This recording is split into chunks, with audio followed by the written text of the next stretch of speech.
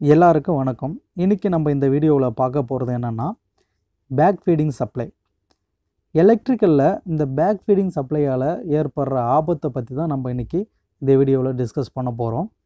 இன்றைக்கி நம்ம team maintenance பார்க்குறதுக்காக ஒரு ஏரியாவுக்கு போயிருந்தோம். அந்த இடத்துல தான் வந்து பேக் ஃபீடிங் சப்ளையை ஃபைண்ட் அவுட் பண்ணோம். இதனால் நமக்கு வந்து எந்த ஆபத்தும் இல்லை. ஏன்னா நம்ம முன்னாடியே அந்த பேக் ஃபீடிங் சப்ளையை பார்த்துட்டோம். இன்கேஸ் நம்ம அந்த பேக் ஃபீடிங் சப்ளையை பார்க்காம ஒர்க்கை ஸ்டார்ட் பண்ணியிருந்தோம்னா இது வந்து பெரிய விளைவை ஏற்படுத்தியிருக்கும்.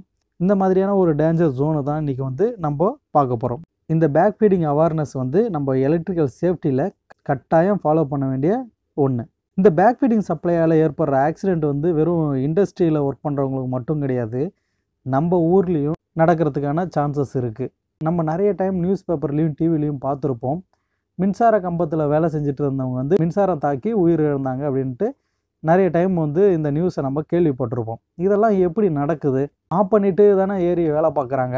அப்படி ஆஃப் பண்ணிட்டு ஏறி வேலை பார்க்கும்போது அவங்களுக்கு எப்படி ஷாக் அடிக்குது? ஒன்று வந்து அவங்க சப்ளை ஆஃப் பண்ண இடத்துல யாரோ வந்து அவங்களுக்கு தெரியாமல் ஆன் பண்ணி விட்டுருக்கலாம். ஒன்று இந்த வழியில் ஷாக் அடிக்கிறதுக்கான சான்சஸ் இருக்குது வேறு எப்படியெல்லாம் ஷாக் அடிக்கும்? நம்ம வீட்டில் யூஸ் பண்ணுற இன்வெர்ட்ரு மூலிமா கூட கம்பத்தில் ஒர்க் பண்ணுறவங்களுக்கு ஷாக் அடிக்கிறதுக்கான வாய்ப்புகள் இருக்குது அது எப்படி நம்ம வீட்டில் இன்வெர்ட்ரு யூஸ் பண்ணால் கம்பத்தில் வேலை செய்கிறவங்களுக்கு எப்படி ஷாக் அடிக்கும் அப்படின்னா எப்படி கம்பத்தில் இருக்கிற சப்ளை வந்து நம்ம கேபிள் மூலயமா நம்ம வீட்டுக்கு வந்து நம்ம வீட்டில் யூஸ் பண்ணுறோமோ அதே மாதிரி தான் நம்ம வீட்டில் இருக்கிற இன்வெர்ட்டருடைய சப்ளை வந்து கம்பத்துக்கு போகிறதுக்கும் சான்சஸ் இருக்குது இதெல்லாம் எப்போன்னா இந்த இன்வெர்ட்டருடைய ஒயரிங் வந்து ப்ராப்பராக இல்லைன்னா இந்த மாதிரி நடக்கிறதுக்கான சான்சஸ் இருக்குது ஸோ இதை அவாய்ட் பண்ணணும் அப்படின்னா நம்ம யூஸ் பண்ணுற இன்வெர்ட்ரு வந்து நமக்கு மட்டுமே ஃபீட் ஆகிற மாதிரி செப்ரேட்டாக ஒயரிங் வந்து இருக்கணும். இந்த இன்வெர்ட்டருடைய அவுட்புட் வந்து எக்காரணத்தை கொண்டும் இபி சப்ளை வர்ற ஒயரில் நம்ம பேரலல் பண்ணவே கூடாது. அது மட்டும் இல்லாமல் அடிஷ்னல் சேஃப்டிக்கு நம்ம எப்போல்லாம் இன்வெர்ட்டர் யூஸ் பண்ணுறோமோ அந்த டைமில் மெயின் சுவிட்ச் இருந்தால் மெயின் சுவிட்ச் ஆஃப் பண்ணி வச்சிடலாம் இல்லை ஃபியூஸ் இருந்தால் ஃபியூஸை ரிமூவ் பண்ணி வச்சிடலாம் இல்லை பிரேக்கர் இருந்தால் பிரேக்கரை ஆஃப் பண்ணி வச்சிடலாம் இப்படிலாம் பண்ணும்போது நம்மளுடைய இன்வெர்ட்டருடைய சப்ளை வந்து கம்பத்துக்கு போகிறதுக்கான வாய்ப்பு இல்லை இதெல்லாம் வந்து ஒரு சின்ன விஷயந்தான் இதெல்லாம் நம்ம பண்ணோம்னா நம்ம வந்து சில பேருடைய லைஃப்பை வந்து சேவ் பண்ணலாம்.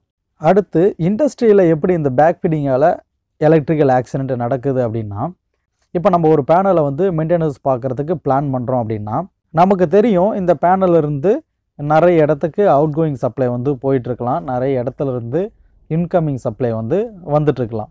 நம்ம இப்போது மெயின்டெனன்ஸ் எடுக்கும்போது இந்த பேனல்லேருந்து போகிற அவுட் கோயிங்லேருந்து வேறு ஏதோ ஒரு இடத்துல அவங்க ஜென்ரேட்டர் ஆன் பண்ணுறாங்க இல்லை அங்கே ஏதோ ஒரு பேனலில் வந்து பிரேக்கரை க்ளோஸ் பண்ணுறாங்க அப்படின்ற பட்சத்தில் அங்கேருந்து ரிட்டர்ன் சப்ளை வந்து இந்த பேனலுக்கு வர்றதுக்கான சான்சஸ் இருக்குது இந்த மாதிரி ரிட்டர்ன் சப்ளை வரும்போது இதை பார்க்காம நம்ம ஒர்க் பண்ணோம் அப்படின்னா இங்கே வந்து எலக்ட்ரிக்கல் ஆக்சிடென்ட்டு நடக்கிறதுக்கான சான்சஸ் இருக்குது இந்த சப்ளைக்கு பேர் தான் வந்து பேக் ஃபீடிங் அப்படிங்கிறோம்.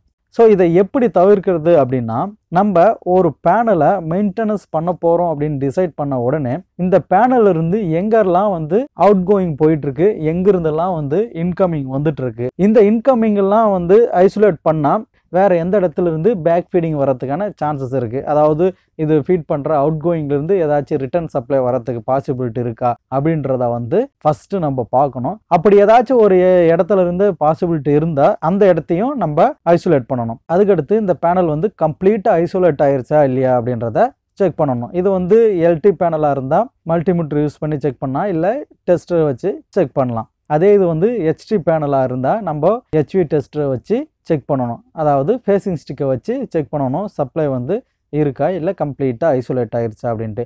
நெக்ஸ்ட்டு இந்த பேனலை வந்து கம்ப்ளீட்டாக எர்த்து பண்ணிவிட்டு நம்ம ஒர்க் பண்ண ஆரம்பிக்கணும். இந்த மாதிரி பண்ணும்போது பேக் ஃபீடிங்னால் நடக்கிற எலக்ட்ரிக்கல் ஆக்சிடெண்ட்டை வந்து நம்ம கம்ப்ளீட்டாக தவிர்க்கலாம். ஓகே இப்போது நம்மளுடைய எக்ஸ்பீரியன்ஸுக்கு வருவோம். நமக்கு வந்து ஒரு த்ரீ ஸ்டார் ஹோட்டலில் சப்ளை ஃபெயிலியர் ஆயிடுச்சு டிரான்ஸ்ஃபார்மர் ட்ரிப் ஆயிருச்சு அப்படின்னு சொல்லிட்டு கம்ப்ளைண்ட் வந்திருந்தது. நம்ம அந்த கம்ப்ளைண்ட் அட்டன் பண்ணுறதுக்காக நம்ம டீமோட போயிருந்தோம். அந்த டிரான்ஸ்ஃபார்மர் வந்து அந்த த்ரீ ஸ்டார் ஹோட்டலில் ப்ரைவேட்டாக வச்சுருக்காங்க. அந்த டிரான்ஸ்ஃபார்மர்லேருந்து அந்த ஹோட்டலுக்கு மட்டும்தான் ஃபீடிங் போயிட்டுருக்கு.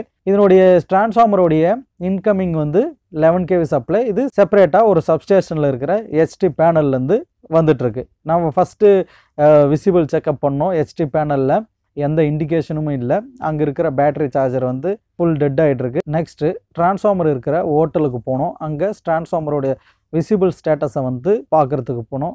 அங்கே பார்க்கும்போது தான் தெரிஞ்சுது இங்கே பேக் ஃபீடிங் ஆகிட்டு இருக்கிறது அங்கே டிரான்ஸ்ஃபார்மர் ட்ரிப் ஆன உடனே ஹோட்டலுக்கு போகிற கம்ப்ளீட் சப்ளையும் ஃபெயிலியர் ஆயிடுச்சு இவங்க கம்ப்ளீட் சப்ளையும் ஃபெயிலியர் ஆன உடனே அவங்களுடைய ஜென்ரேட்டரை வந்து ஸ்டார்ட் பண்ண ட்ரை பண்ணியிருக்காங்க பட் அவங்க ஜென்ரேட்டர் வந்து ஸ்டார்ட் ஆகலை. சம் ப்ராப்ளத்தினால அவங்க ஜென்ரேட்டர் ஸ்டார்ட் ஆகலை. ஸோ இவங்க வெளியிலிருந்து ஒரு ஜென்ரேட்டரை கொண்டு வந்து இவங்க ஹோட்டலுக்கு எமர்ஜென்சிக்காக ஃபீட் பண்ண ஆரம்பிச்சிருக்கிறாங்க.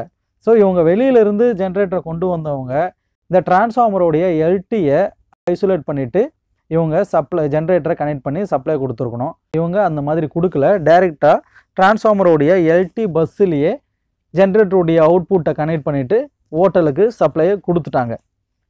இந்த பிக்சரை பாருங்கள் இதில் இருக்கிற ஆறு ஒய் பி அப்புறம் நியூட்ரல் இந்த நாலு லிங்க்கு தான் வந்து டிரான்ஸ்ஃபார்மருடைய ஐசோலேட்டர் சுவிட்ச். அதாவது எல்டி பஸ்ஸுக்கும் டிரான்ஸ்ஃபார்மருக்கும் பிட்வீனில் இருக்கிற ஐசோலேட்டர் சுவிட்ச். இந்த ஐசோலேட்டர் சுவிட்சை வந்து நைஃப் சுவிட்சு அப்படின்பாங்க இந்த சுவிட்சை ஓப்பன் பண்ணி விட்டுட்டால் இந்த எல்டி பஸ்ஸுக்கும் டிரான்ஸ்ஃபார்மருக்கும் எந்த கனெக்ஷனும் இல்லாமல் இருக்கும். பட் ஆனால் இவ இவங்க இந்த சுவிட்சை ஓப்பன் பண்ணாமையே டைரெக்டாக வந்து எல்டி பஸ்ஸில் கேபிளை கனெக்ட் பண்ணிட்டு ஜென்ரேட்டரை வந்து ஆன் பண்ணி விட்டுட்டாங்க. ஜென்ரேட்டரை ஆன் பண்ண உடனே என்ன நடந்துச்சு அப்படின்னா இந்த ஜென்ரேட்டருடைய சப்ளை இந்த ஐசோலேட்டர் சுவிட்ச் வழியாக டிரான்ஸ்ஃபார்மருடைய செகண்டரிக்கு போயிடுச்சு. டிரான்ஸ்ஃபார்மருடைய செகண்டரிக்கு போன உடனே நமக்கு தான் தெரியும் டிரான்ஸ்ஃபார்மருக்கு ப்ரைமரியில் சப்ளை கொடுத்தா செகண்டரியில் வரும் செகண்டரியில் சப்ளை கொடுத்தா ப்ரைமரியில் வரும். இப்போது ஜென்ரேட்டருடைய ஃபோர் தேர்ட்டி சப்ளை வந்து டிரான்ஸ்ஃபார்மருடைய செகண்டரிக்கு போன உடனே டிரான்ஸ்ஃபார்மருடைய ப்ரைமரியில் லெவன் கேவி சப்ளை வந்து ப்ரொடியூஸ் ஆயிடுச்சு. இந்த லெவன் கேவி சப்ளை எங்கே போயிட்டுருக்கு அப்படின்னா இந்த டிரான்ஸ்ஃபார்மருக்கு ஃபீட் பண்ணுற ஹெச்டி பேனல் வரைக்கும் இந்த லெவன் கேவி சப்ளை இருக்குது பேனலில் டிரான்ஸ்ஃபார்மருடைய பிரேக்கர் வந்து ட்ரிப் கண்டிஷனில் இருக்குது பட் எந்த ஒரு இண்டிகேஷனும் இல்லை. டிசி சப்ளை ஃபெயில் ஆனதுனால எந்த லைட் இண்டிகேஷனும் இல்லை. ஸோ இந்த மாதிரி கேஸில் நம்ம கிட்ட இருந்து தானே டிரான்ஸ்ஃபார்மருக்கு சப்ளை போயிட்டுருக்கு. ஸோ அங்கேருந்தெல்லாம் எந்த சப்ளையும் இங்கே ரிட்டர்ன் வரதுக்கு சான்சஸ் இல்லை அப்படின்னு சொல்லிட்டு இன்சுலேஷன் செக் பண்ணுறதுக்காக மெக்கர் கனெக்ட் பண்ணியிருந்தோம்னா எவ்வளோ பெரிய ஆக்சிடென்ட் நடக்கிறதுக்கான சான்சஸ் இருக்குது அப்படி இல்லைனா ஆல்ரெடி பஸ்ஸில் வந்து இபி சப்ளை இருக்குது இந்த டிரான்ஸ்ஃபார்மருடைய கேபிளில் வெளியில் இருக்கிற ஜென்ரேட்டருடைய சப்ளை இருக்குது இதை நம்ம பார்க்காம இந்த பிரேக்கரை இன்சர்ட் பண்ணிவிட்டு நம்ம ஆன் பண்ணியிருந்தோம்னா எவ்வளோ பெரிய ஃப்ளாஷ் ஆகிறதுக்கான சான்சஸ் இருக்குது இந்த பேக் ஃபீடிங் சப்ளை வந்து நம்ம விசிபிளாகவே ஃபைண்ட் அவுட் பண்ணதுனால ஜென்ரேட்டரை ஆஃப் பண்ணிவிட்டு அந்த எண்டை ஓப்பன் பண்ணி விட்டுட்டு அங்கே ப்ராப்பராக எர்த் பண்ணிவிட்டு அப்புறம் இந்த எண்டில் வந்து ஃபேஸிங் ஸ்டிக்கை வச்சு செக் பண்ணிட்டோம். இங்கே எந்த சப்ளை இல்லை. ஸோ எலக்ட்ரிக்கல் ஒர்க்கு பண்ணும்போது ரொம்ப ரொம்ப ரொம்ப சேஃபாக பண்ணணும். அப்போ தான் வந்து இந்த மாதிரி இஷ்யூனால் வர்ற ஆக்சிடென்ட்டெல்லாம் நம்ம தவிர்க்கலாம். ஃபைனலாக இந்த டிரான்ஸ்ஃபார்மருடைய ஃபால்ட்டை ரெட்டிஃபை பண்ணிவிட்டு நம்மளுடைய ஒர்க்கை வந்து கம்ப்ளீட் பண்ணோம் இதோட இந்த வீடியோ முடியுது. இந்த வீடியோ பிடிச்சிருந்தா சப்போர்ட் பண்ணுங்கள் தேங்க்யூ ஃபார் வாட்சிங் தேங்க்யூ